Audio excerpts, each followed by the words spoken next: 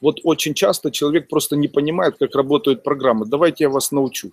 Программа – это то, что человек сказал. Допустим, я сказал, э, там, что у тебя ноги покрутило, пока не отдашь мне деньги. Так вот, первые слова, чтобы у тебя ноги покрутило, является программой, а пока не отдашь мне деньги, является намерением. Намерение живет в пространстве 5-6 месяцев, программа живет не больше трех суток. Так вот, когда человек такое сказал, то первая часть исчезает, чтобы у тебя ноги покрутили, это не действует, а вторая часть остается. И происходит, вот э, во второй части происходит э, формирование и постоянного влияния на меня вот этих слов намерений, которые звучит «пока не отдашь мне деньги».